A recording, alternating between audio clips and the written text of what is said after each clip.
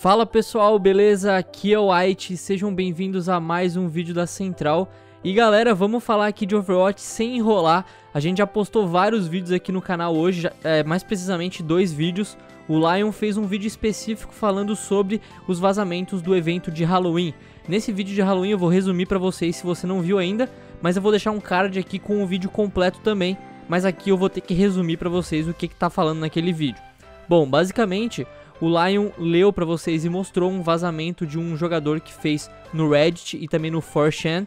E esse jogador falava que o evento de Halloween vai voltar com as skins uh, do ano passado para você comprar de novo, exatamente como foi o Summer Games, ok? Você vai poder comprar por mil de gold, se eu não me engano. Uh, e outra coisa muito legal, galera, é que ele falou algumas skins que alguns heróis vão receber, skins novas de heróis para esse ano. Então quem vai receber skins pelo vazamento era o McCree Hunter, que seria basicamente um caçador. Também teria a Ana, doutora da praga, que seria parecido com a skin do Reaper. O Reaper tem uma skin dessa, mas também não faz muito sentido, mas pra Ana, como ela cura, uh, faz mais sentido. Ele também falou que ela vai participar da vingança de Junkenstein e tal.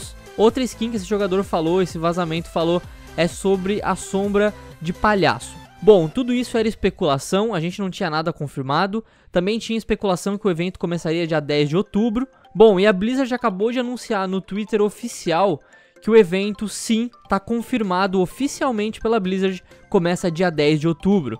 A gente não sabe quando vai terminar, mas começa dia 10 e geralmente os eventos duram de duas a três semanas. Dia 10 é terça-feira, então tá confirmado terça-feira que vem o evento de Halloween tá voltando.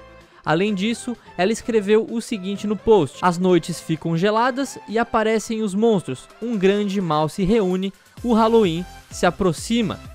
E muito legal nesse teaser é que ela mostrou duas skins que vão chegar nesse ano, duas skins novas.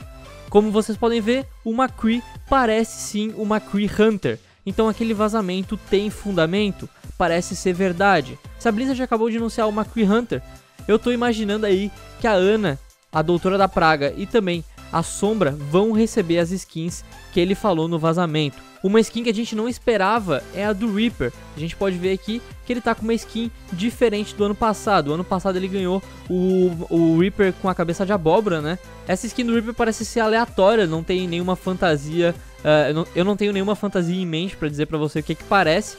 Mas só quando ela vir com o nome dela a gente vai poder pesquisar e saber o que, que eles queriam fazer com ela. Mas o McCree parece sim o McCree Hunter, parece que o vazamento que estava rolando era verdade.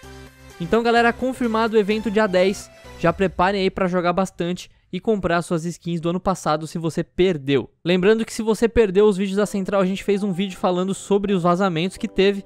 Ali naquele vídeo vai estar tá falando sobre tudo que vai vir nesse evento, que pode vir nesse evento, mas como algumas coisas já estão se confirmando, acredito que o vazamento era verdade e o que tá lá vai ser real. Lembrando também que vazou um novo curta de animação da Simetra. A gente fez um vídeo, tá postado aqui no canal já também. Vou deixar um card aqui pra vocês também.